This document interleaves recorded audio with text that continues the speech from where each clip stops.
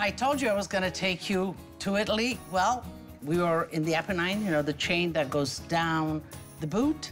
Now I'm taking you to the Alps, all the way in the left side corner of the Alps, where the Fontina, this wonderful cheese, is made. Uh, you know, those pastures up, the Altopiano, really makes the milk rich and hence the cheese delicious. And we're gonna stuff some pork chops with that cheese and some ham. So, the stuffing. Ham, chopped tomatoes, squeeze out the seeds and the extra juice, the fontina, shredded, shredded fontina. This is a cheese that really melts so beautifully, and you know, who doesn't love melted cheese? And here are the little cornichons, you know, the ones that I like. Just chop them up and include them. They will bring a nice acidity. They will bring a nice crunch to, to the stuffing. So that's the stuffing, that's simple. This is the, the meat. So the bone comes around here of the pork chops. I cut that off because it is easier to cook. But otherwise, you could just split the meat and leave the bone on, and it would take longer to cook. Uh, but what you do need, we need to make a pocket. So just open it up, butterfly it.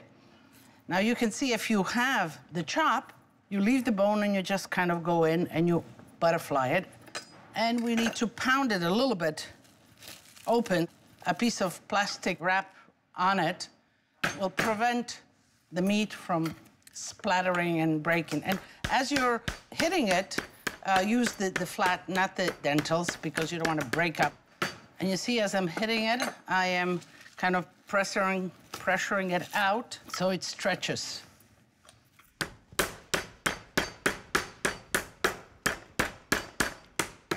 Okay. Try not to open it up too much because then you lose your stuffing. But this is fine. And let's put some of the stuffing, just like that, kind of make it into a, into a mound like that.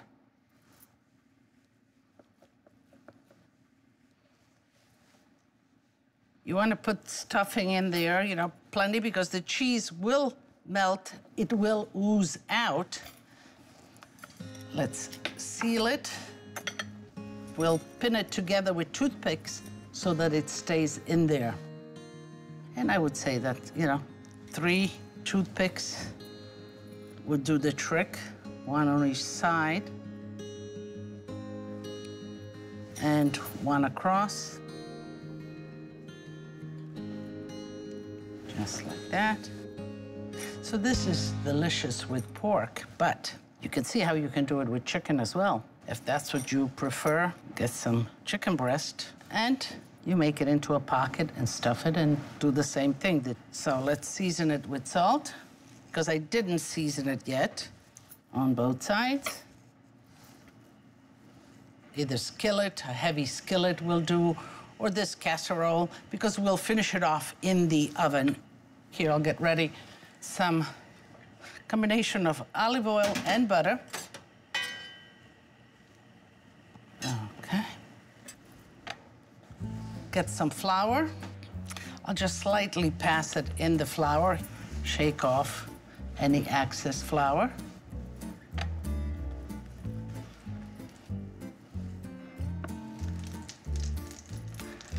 And here we want just to caramelize it and make the sauce, the beginning of the sauce, and then we'll put it in the, in the oven.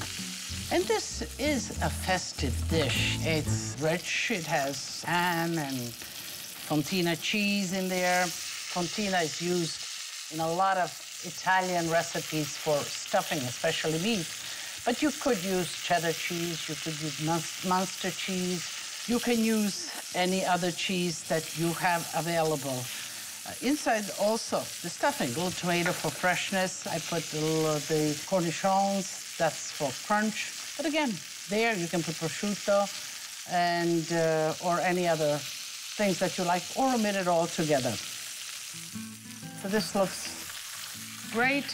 A nice crust.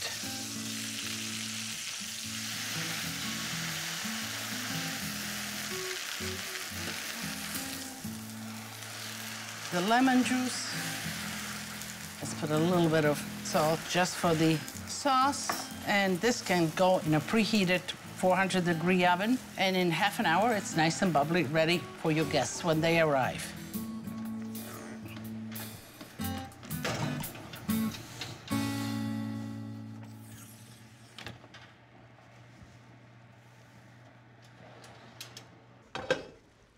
Can open just a, a little bit of fire underneath to keep it bubbling and keep the sauce going. So you, you, I like this crispiness on top. I don't want to get that wet. I need to pull out these toothpicks. These are not the easiest, really, because the meat tightens up and it clamps on the toothpick. So just let's position it good so it gives me a good, mm, okay? So you want to do this before your guests come, or you want to give it to your guests, let them figure it out. There you go, like that, comes out. So let's push this one out. This is the hardest part of the recipe. All right. Let's put it back in so it stays warm. Bring them nice to temperature again, and we're ready to serve them. Can do it family style, certainly.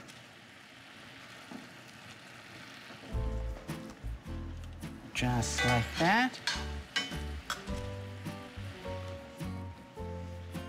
You can do it individual. This is for Lidia to taste, so I can tell you. So here I have some, some great sauce, and the sauce has the cheese that has melted in it, and it's good. You could just use it like that, or you could just pass it through a sieve, and so you have the clean sauce, and just pass as much as you can of the sauce right through the sieve. Okay, I think that looks great. Let me put a little bit for me, for Lidia.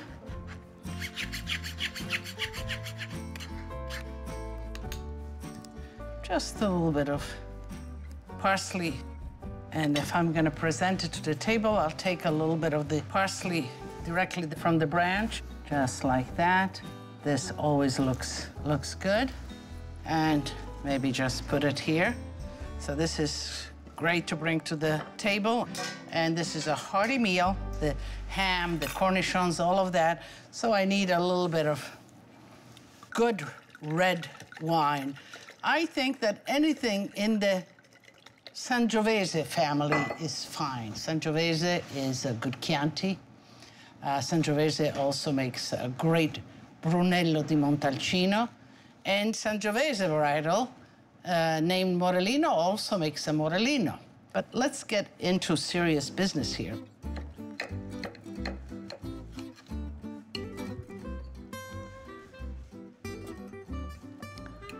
And it smells delicious. It looks delicious. It is tender. The cheese, the tomatoes, the cornichons. I need to get another bite to really get it, get the message to you. Mm.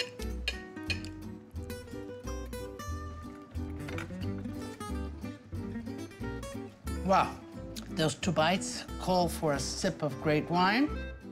But before I do, I want to invite you, as I always do. So, let's go. Tutti a tavola a mangiare. Salute!